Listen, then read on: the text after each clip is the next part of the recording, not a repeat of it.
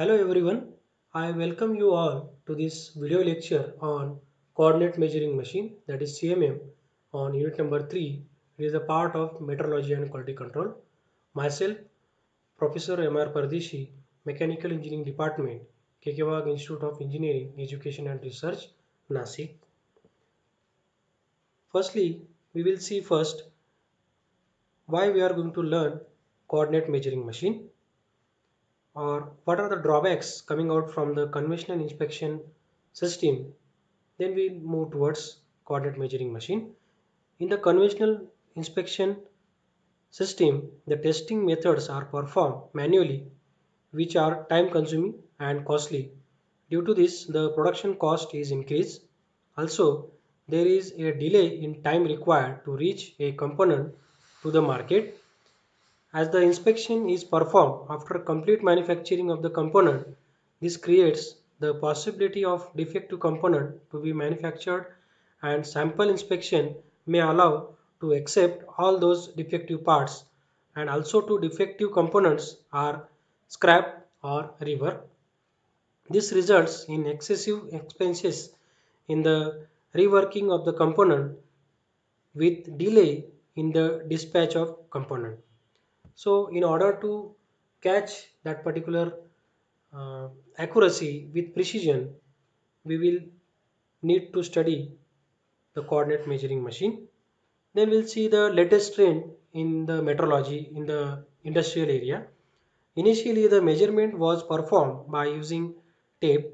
Then it is replaced by various measuring instrument. Then we can say that the trend in metrology can, has been changed from non-precision instrument to precision instrument. Nowadays, it is taking place in metrology in concern with the measuring methods, measuring machines, measuring approaches, etc. Nowadays, because of current competitive market and consumer requirement, there is no scope of error by measuring uh, manufacturing companies. Therefore, there is need to have some latest trend and advancement in the metrology. Currently, the inspection and testing of components are carried out with the computerized control measuring machine in which the measured data is compared with standard data stored in the computer in order to predict the component quality. Also, uh, recently the laser technology has been used or the developed successfully for inspection purpose with greater accuracy in automatic inspection technique are also introduced where with less human interaction inspection is carried out because of the 100% inspection that can be possible.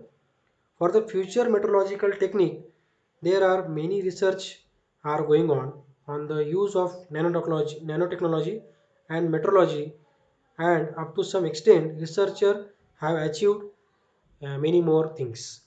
There is no there is a new technique on which the industries are working that is portable metrology which eliminate the process of measuring instrument is taken to manufacturing station rather than the manufacturing component to the inspection. But while the working on this new trend in metrology, maintaining the accuracy and precision of the instrument is a challenging task. So the coordinate measuring machine in that case the the industrial application some of the three-dimensional measurement are essential for various components. So that's why we need to study the three-dimensional uh, measurement by means of coordinate measuring machine. Then if you talk about the history of this on the introduction of um, coordinate measuring machine Ogden developed an inspection machine in 1956 which is considered to be a first coordinate measuring machine that is CMM. A coordinate measuring machine is an electromechanical system designed to perform coordinate metrology. CMM are also considered as a transducer that can convert physical measurement into electrical signals. They are versatile in their capability to record measurement of complex profile with high sensitivity up to 0.0025 mm and speeds. Then we talk about the various components used in the coordinate measuring machine. Probe's head and probe to contact the work part surfaces, mechanical structure that provides motion of the probe in three Cartesian axes and displacement transducer to measure the coordinate values of each axis. In addition that the drive system and control unit to move each of the three axes and digital computer system with application software. Then another component which is used in the CMM is that the probes. The contact probe is the key component of a CMM. It indicates when contact has been made with the part surface during measurement. The tip of the probe is usually means this is the tip of the probe. The ruby ball, ruby is the form of corundum aluminum oxide that is material of that uh, ball whose desired properties in this application include high hardness for wear resistance and low density for minimum inertia because that probe has to be moved towards on the surface or the part which is going to measure. So it has the high hardness and wear resistance most probe today are touch trigger probes which actuate when the probe makes contact with the part surface. So probe is the very essential component used in the CMM. Then if you talk about the classification of CMM, as per the mechanical structure of the CMM are classified and the, in the six types, the cantilever type, moving bridge type, fixed bridge type, horizontal arm, gantry type and column type. We'll see one by one.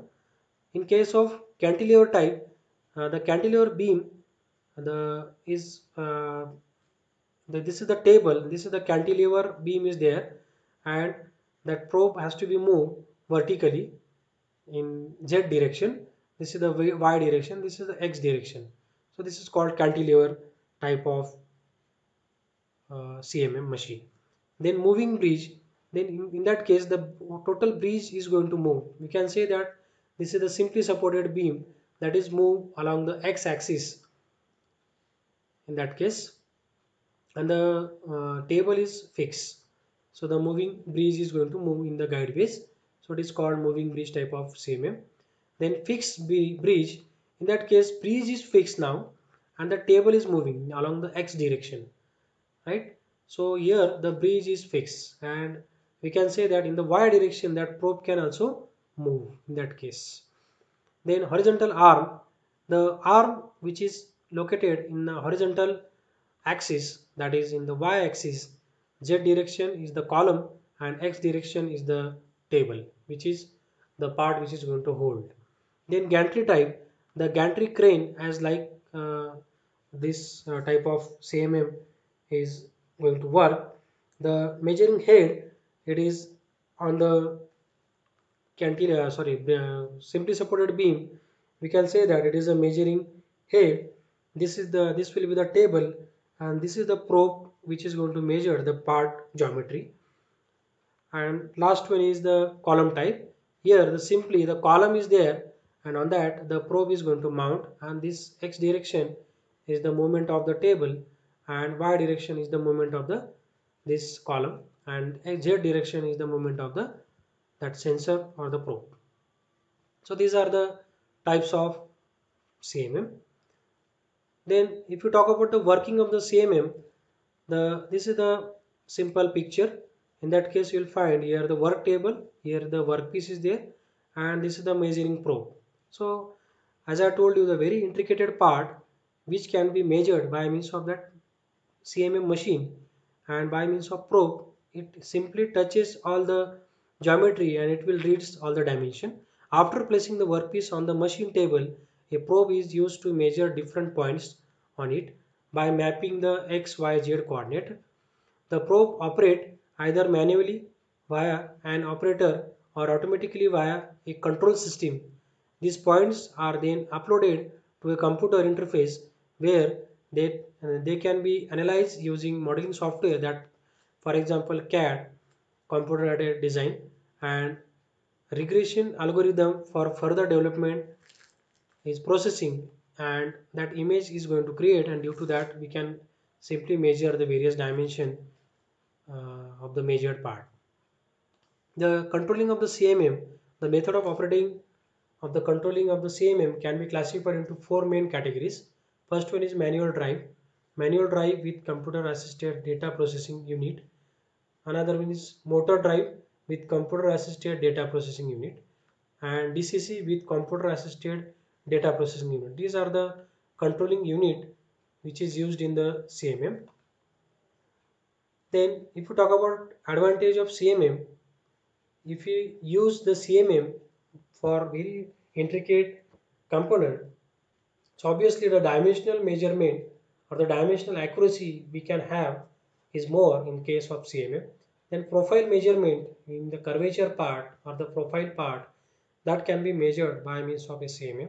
Angularity or orientation that can be measured very accurately by means of CMM. Then the depth mapping with the help of CMM that can be accurately measured. Then digitizing and imaging means data processing by means of image capturing that can be possible by means of CMM and the shaft measurement accurately measured by the computer measuring uh, coordinate measuring machine. So this will be the end of the today's video. Thank you for watching. Thank you. Thank you very much.